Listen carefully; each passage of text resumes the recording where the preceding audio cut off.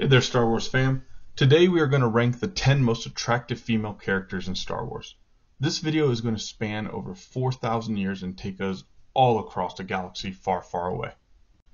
Starting the list off at number 10 is former Rebel shock trooper turned New Republic Special Forces member Cara Dune.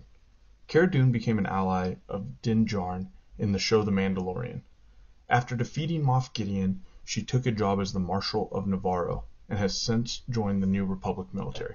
Coming in at number 9 is the Old Republic era Luca by the name of Visas Marr. Marr was the apprentice to Darth Nihilus, and later the unofficial apprentice to Meetra Surik. After the defeats of Darth Nihilus, Darth Sion, and Darth Traya, Marr would be instrumental in helping rebuild the Jedi Order. In at the number 8 spot is the Mandalorian royal herself, Bo-Katan.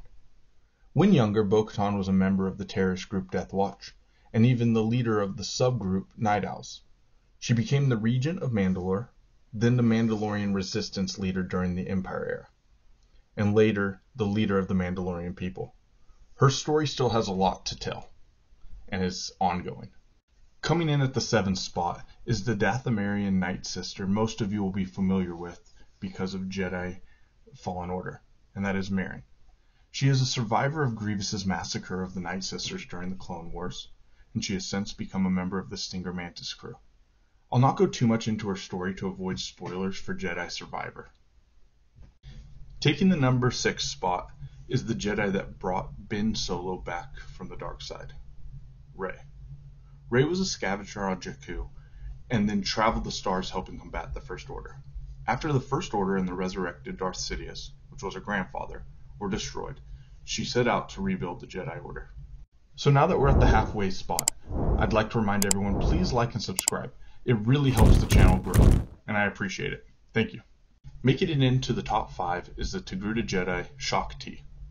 Shaak Ti was a general in the Grand Army of the Republic and part of the strike team that was sent to Geonosis. Because of the amount of deaths she's had in the games, deleted scenes, and more, I like to think she's still out there somewhere trading Padawans.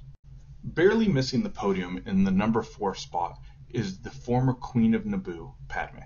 Padme was elected the Queen of Naboo at a young age, and after her reign she became a galactic senator.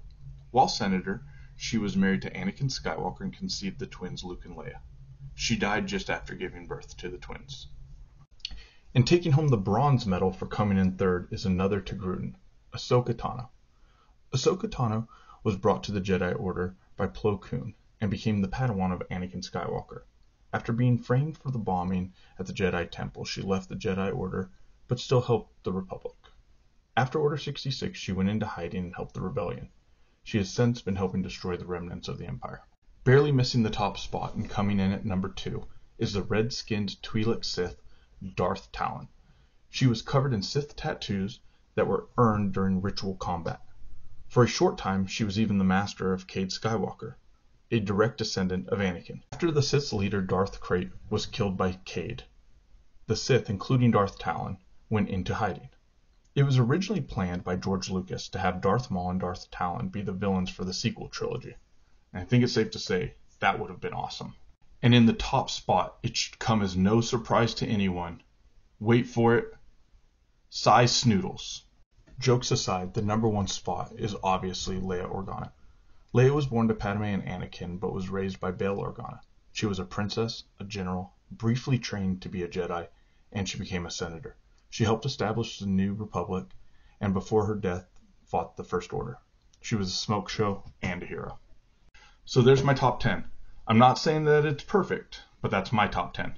If you have anybody that you think that I missed, please put them in the comments. I'm not above making another video. Please like and subscribe.